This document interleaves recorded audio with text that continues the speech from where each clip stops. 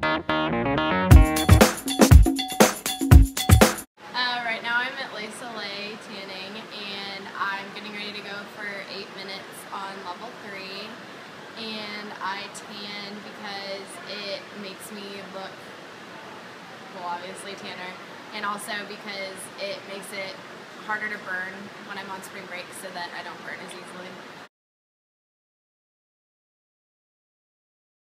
Well, yeah, there are going to be negative effects, but you, that depends on your usage. I mean, the average person, your average Sion girl, who goes to a tanning bed once before a dance, and we have what, three dances a year, and a couple times in the summer to get a boost on their tan, is not going to see that many effects.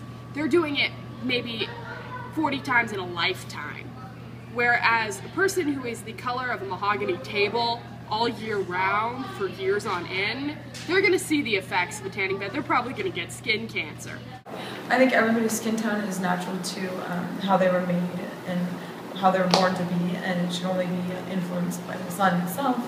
And um, you don't want to become those, one of those people who um, just goes so much that they look like a completely different human being. So, because we're not cookies, so I don't think we should bake. Even though the risks because it helps me to not burn when I'm out in the sun and also the bed that I use takes out most of the harmful rays that tanning beds normally have so it's not as dangerous and I honestly think that it makes your skin look better and sometimes healthier when you tan. Yeah, I'm against it because I think it causes cancer. I mean, you're exposed to harsh ultraviolet light, so that's not good for you. It's just bad for your Yeah, body. at all. I Okay, and I can definitely tell like if they have been in like a Yeah. bed looks really fake.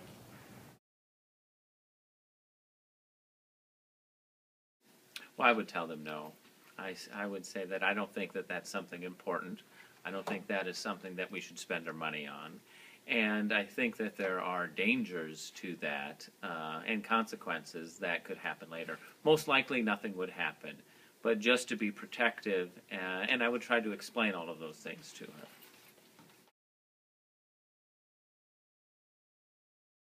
wondering like what do you say when people come in and like they're asking all about the negative like cancer side effects of tanning like is there anything you would say to that Well, you know, you try to inform people the best you can, um, you know, about what you know about it. There's a lot of different things out there, and I think people have to make the best decision for them.